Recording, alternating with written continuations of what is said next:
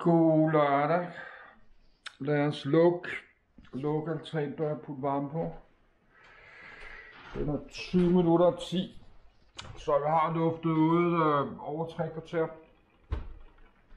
Så min øh, morgenvideo er ikke offentlig. Lad os lige putte den op, mens vi laver den her. Der skal nogen, der sover der. at nogen, der er vågnet op med tømmermænd.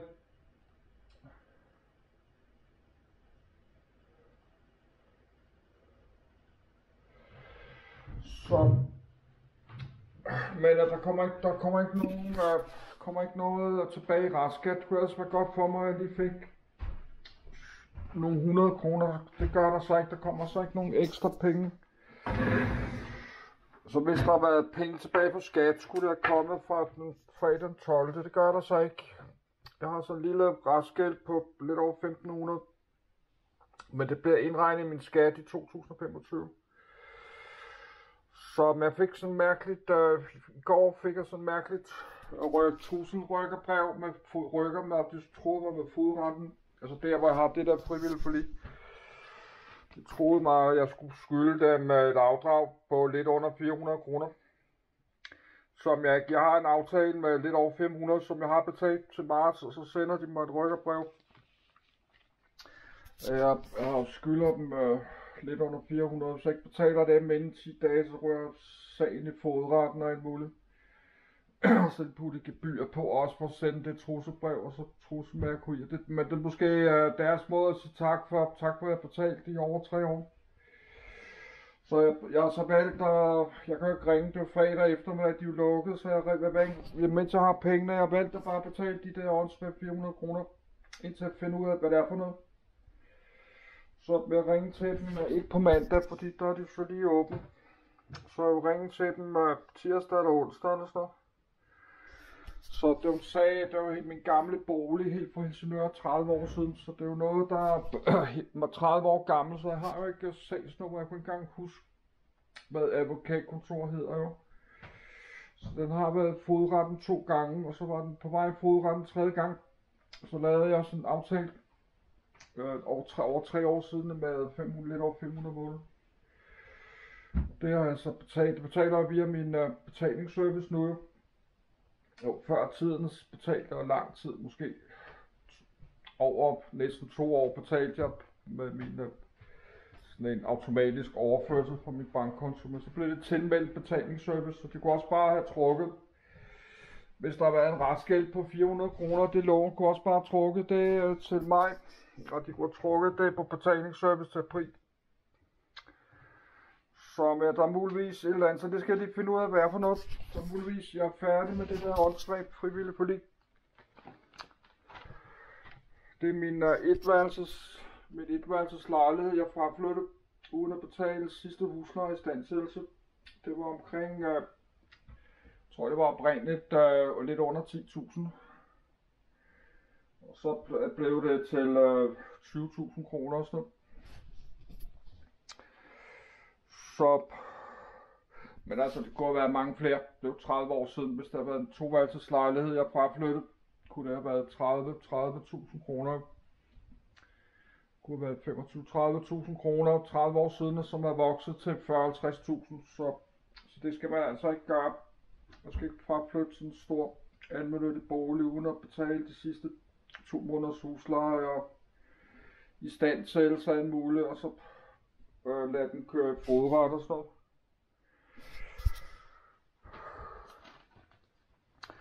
Så, så det er muligvis, jeg har 500 mere om måneden øh, fra april af, og det er jo super godt, fordi det jo, kunne godt tage bare få lidt over 500 kroner af min kasker, de skulle falde, kunne jeg så godt tage nærmest øh, over 10 måneder og få min kasker de til at falde, fordi beløbet bliver jo øh, mindre og mindre.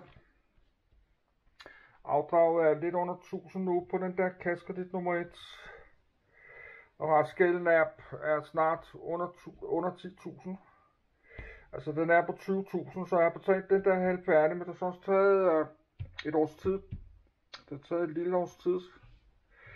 Som jeg tror, altså, så tager måske taget mig et år at betale ned fra 20 til 10.000 gæld. Og så kommer nok til at tage mig dobbelt så lang tid.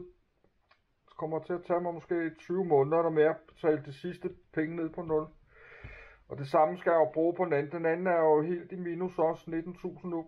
Den anden skal jo også prøve, skal bruge helt over til at få den ned under, under 10.000 i gæld, ja. Så der mangler syv afdrag på den der shopkredit. Mangler der syv afdrag. April, maj, juni. Der august. Så når jeg betalte, der når jeg betalte september, så mangler der måske 1600, så kunne måske lige, øh, jeg kunne betale de sidste penge ud, så når jeg har øh, 1900 kroner mere om måneden, oktober, det kunne jeg tænke på at gøre, når jeg betalte for august, så vil så mangle 3.200 eller sådan noget. På den der shopkredit. Så det kunne være rigtig godt, jeg betaler, for så sparer jeg jo gebyr 600 kroner. Det er jo gebyr næsten 300 om. Så vil jeg spare gebyr september, oktober, så jeg sparer 600 kroner. Fordi der er gebyr næsten 300 kroner om måneden. Med en kredit der på 20.000 på, på 20 kroner. Så hvis jeg har lidt over 3.000 til august, kunne det altså godt at gøre det. Så på lige få sparet på 1000 kroner op, fordi så har jeg, kunne jeg have 2.000 mere om måneden allerede i september. Og hvis også den der frivillige forlig også er nede, jamen så har jeg så nærmest 2,5, kunne jeg have 2.500 mere. 2.500 mere plus. Men nu min øh, kaskredit er faldet med at kunne have op til 3.000 kroner mere om måneden, så kan jeg jo så leve igen normalt. Jeg kan leve igen uh, normalt, men lad os nu bare regne med, uh, lad os nu bare regne med november, at jeg bare betaler de der 1900.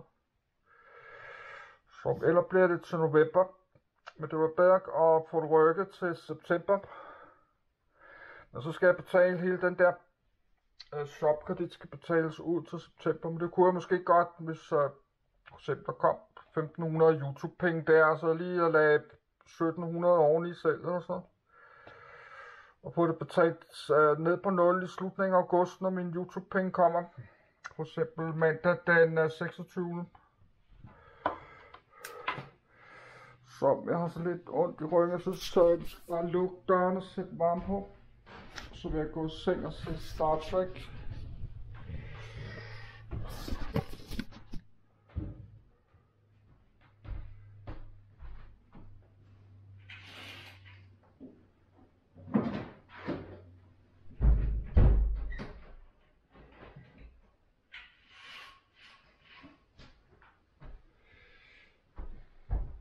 Nå, jeg glemte at sige, der er YouTube-penge på. Jeg kan se, at min YouTube-penge kommer lidt over 2.900. Og det er så et stort beløb, når man er på førtidspension.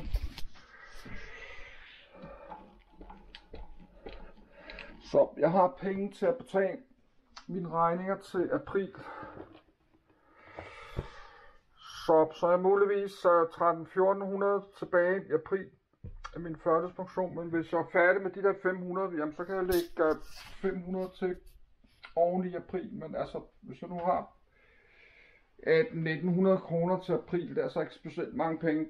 Det er ikke nok til, at jeg kan gå ud og købe sejlbåde og have bådplads og en mulig rejse og sådan noget. Så det er jo dog nok penge øh, til mad og sådan. Så jeg skal jo langt højere op og sådan noget. Men at fået 500 måned, mere måned fra nu af for næste måned var super godt, fordi jeg lever stadig, jeg drikker og ryger ikke lige nu og sådan. Så 500 mere måneder, det, det er meget lige nu. Ja, det er jo meget, det er jo toiletpapir, køkkenrulle og alle mulige ting og sager, jeg bruger. Og nye bebærblade koster 90 kroner, så det har jeg så lige købt og det er også købt to-tre pakker ost og så købt noget lev på steg og så fryser. Og på lidt pålæg og så og et par kilo ris. Køb øh, to-tre kilo ris og sådan noget. Og pastaskruer og ting og sager, jeg bruger.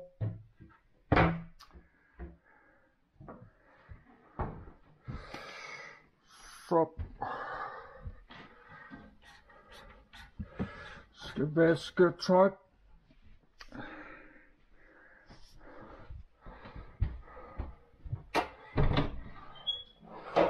Så, og det vil jeg øh, gøre klar senere. Jeg gider overhovedet ikke noget, jeg skal have en pause nu.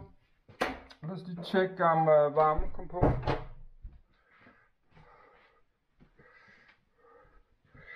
Så 3,5 der. Og 3,5. Lad os drikke noget mere cola.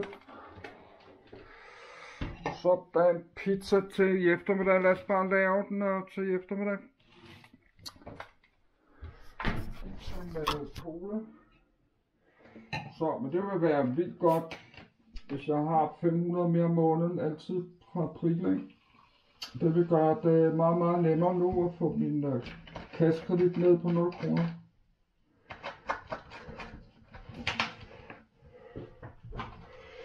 Så det kan være, at man skulle købe, købe et nyt kamera. Øh, ikke nu her med YouTube, men næste gang.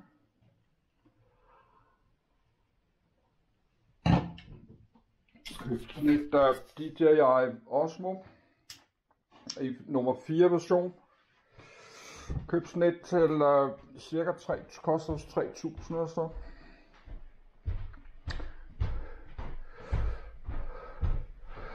Trump. jeg kunne lige finde ud af, hvad det er for noget, jeg skal køre for nyt. Det kan også godt være, at jeg kunne få et nyt uh, GoPro til under 2.000.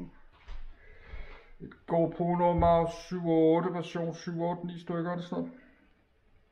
Det kan også godt være, at jeg kunne få sådan et øh, uh, Osmo Action i uh, nummer 3. version. Jeg skal lige undersøge, hvad det er sådan noget.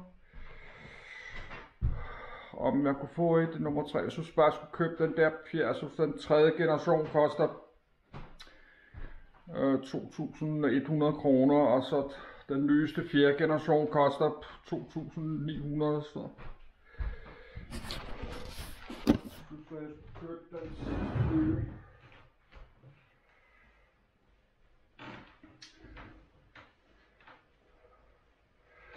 Så, så vil jeg gå og se nu og se Star Trek.